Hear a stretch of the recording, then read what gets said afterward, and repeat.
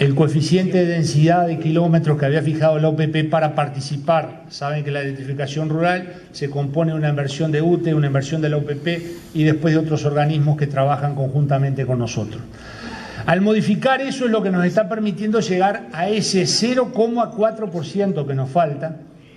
Y ahí tenemos dos problemas que no son menores. El primero es que lo que nos queda son todos los pagos de, Tabaré, de de acá de la diputada Montaner, nos queda algo en salto.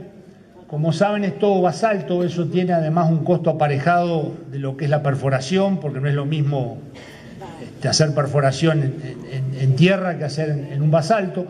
Eso nos ha aumentado mucho los costos. De cualquier manera, este año vamos a llegar a 850 kilómetros de electrificación rural, lo cual es todo un número y es más que el año pasado.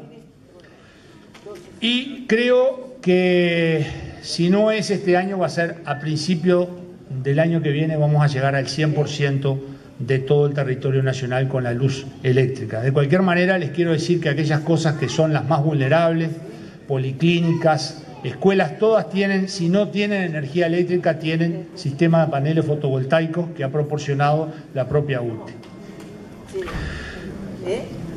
Para terminar, quiero hablar sobre los controles que han hablado acá todos mis compañeros. Ustedes saben que nosotros llevamos dos parques que exitosamente hemos cotizado en bolsa.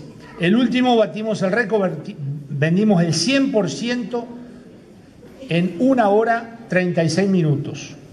Hacía muchísimos años que en la bolsa de valores no había un impacto de venta tan masivo y tan rápido. Para hacer eso y para cotizar en bolsa se pueden imaginar que a UTE le ha pedido todos los organismos de control, Superintendencia, Banco Central, el BID. Nosotros estábamos haciendo todos los aprontes para cotizar en, la Bolsa de San Pablo, en Bovespa, por lo cual tuvimos que hacer otra serie de controles y trasvasar una cantidad de normas. Eh, creo que los controles ya por ese lado son más que suficientes. Pero aparte, bueno, por supuesto que tenemos los controles habituales que cualquier organismo tiene, tenemos un comité también de, auditoría y este, permanentemente somos este, auditados. Nosotros trabajamos con un sistema de semáforos que tiene que ver con los colores clásicos de un semáforo. Cuando empieza a cambiar de color, automáticamente se activa un mecanismo que auditoría tiene que introducirse en esa dirección o en esa gerencia a los efectos de determinar cuál es el problema. No siempre son problemas de administración, algunas veces son de manejo y fundamentalmente de cumplimiento de, los estándares que se nos están pidiendo.